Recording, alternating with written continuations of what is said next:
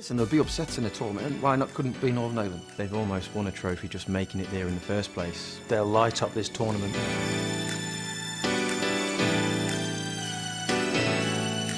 What you know, Michael O'Neill's managed to do with the group of players that he's got available to select from is, is absolutely phenomenal.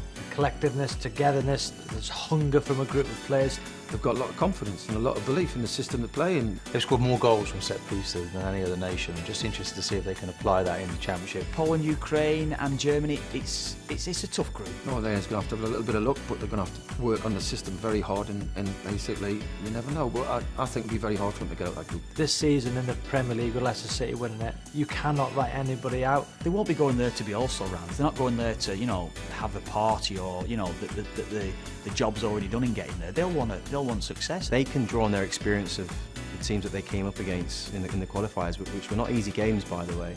Realistically, if they get out of the group, like like the Republic of Ireland, that is a success in itself.